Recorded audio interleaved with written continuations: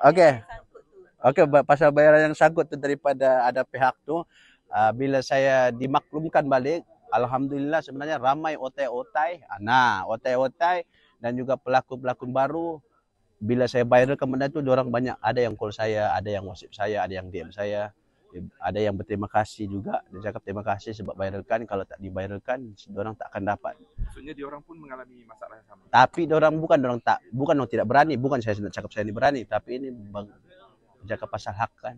Uh, bila macam saya saya tak kisah sangat, bukan saya tak kisah sangat amount duit tu, tapi bila kita tengok yang kawan-kawan artis lain, kita tahu orang job pun kadang-kadang ada, kadang-kadang tak ada siapa lagi nak fight benda ni? Alhamdulillah. Siapa? Pas. Tak lepas. Dia, dia ada bayar, dia ada bayar. Ada tiga proses pembayaran, tapi dua proses pembayaran tu hampir uh, ada kadang-kadang dia langgar due date. Sekarang ada berapa persen yang dah bayar? Berapa persen tak bayar? Ada kalau kita kira langsam semua tiga tiga program yang saya buat ada dalam 30 ribu. Ah. So, sekarang dilunaskan semua? Saya ah okey bukan saya nak membuka aib siapa-siapa tapi ini kebenaran ini kenyataan. Semua kawan-kawan semua sudah dapat. Alhamdulillah ada yang sangkut lagi. Tapi saya punya payment seorang saya dibekukan. Why? Adakah selepas uh, disuarakan benda tu? Mungkinlah. Oh. hmm, tapi payment berjalan tapi lambat. Suatu tak bersuara lagi? Ah kalau saya nak bersuara pun kalau saya nak bersuara pasal duit pun apa bejanya saya sama dia kan? Yang penting semua sudah dapat. Ah, kalau rezeki bukan rezeki saya saya tak dapat lah. Tapi saya pasti akan dapat juga. Tapi mungkin lama lah. Lama sikit lah. Tak tahu. Uh, lepas daripada saya, lepas dia bagi saya statement yang hari itu tu kan, yang makan tuan tu, uh, saya dah senyap lah. Saya jenis sekali je. Saya sekali je saya sebut, lepas tu saya dah tak nak panjang-panjang. Kalau nak panjangkan pun, uh, iyalah. Ah, saya menekan dia lagi bagus lah. Kalau saya dapat duit tu, saya dapat lah. Kalau tak dapat, apalah ada uh. tak dapat tak apa tu halalkan ke apa? Ah, tak boleh lah halalkan kan. ah, saya cakap tak apa, saya bukan saya cakap halalkan. Apa ini? apa tu lain maksudnya. Ah, tak apa tu. Tak apa tu saya tak nak besar-besarkan lagi ah. Ah, saya tak nak dia lagi jadi makin tegang. Ah, sebab kalau dua-dua nak bergaduh pasal duit kan tak ada point kan. Yang penting kawan-kawan saya yang lain sudah dapat. Itu saja.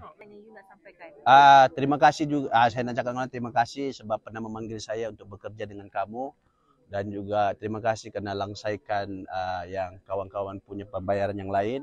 Uh, untuk saya punya bahagian, kalau nak bayar, kalau nak hold lama-lama pun tak apa, saya tak kisah. Tapi yang pentingnya itu soal hak, duit orang. Uh, saya sudah menggunakan duit saya untuk rolling, pakai duit minyak, makan, apa semua. Uh, masing-masing sudah besar lah, matang. Lagipun, orang orang ada saya ada SPM, orang lagi tinggi daripada SPM. Takkan orang tak boleh berfikir macam saya kan. Okey, yang first bulan tiga. Bulan tiga saya datang office, saya berjanji, orang berjanji dengan saya dalam bulan tiga tu sepanjang bulan tiga kita akan settlekan. Bila masuk bulan empat, satu April saya terus bayarkan uh, sebab saya sudah bagi masa tiga bulan, eh tiga bulan, satu bulan. Sampai saya berjanggut tau. So yang tak settle tu tiga puluh ribu lagi? Tiga puluh ribu lagi. Ah, uh, dorang, dorang bagi, tapi dorang suruh saya datang office. Kenapa? Sebab sebelum ni kan dia pernah sebelum ni kalau pembayaran dia bagi on bank online. Kenapa saya kena pergi office? Kenapa uh, tak nak pergi? Uh, sebab sebelum ni pun tak ada pula yang bagi payment nak kena pergi office, nak kena pergi untuk apa? Kalau kena bayar bayar. Ah, uh, dah payah tahan-tahan lah. Ah, uh, sebagai manusia mengamuk ah. uh, cuma itulah saya uh, bila dia bercakap macam tu kalau saya nak melenting juga tak ada beja lah saya sama dia uh, biarlah dia nak bercakap pasal saya. Dia cakap, itulah yang saya marah sebenarnya. Saya tak kisah pasal duit, tapi bila dia petik anjing makan tuan tu, uh, siapa-siapa pun akan marah. Saya pun sudah cakap dengan stesen TV itu, saya sudah tak mau ada apa-apa lagi hubungan, tak mau terikat dengan apa-apa. Bayar semua duit saya, saya senyap. Ah, rezeki mesti ada tempat lain. Cuma bila saya cakap macam gitu, itu yang dorong suruh saya pergi office. Ah, saya nak semua, saya tak nak panjang-panjang, saya tak nak keluar lagi statement ni, statement ni, statement ni. Bayar, saya senyap, diam, settle.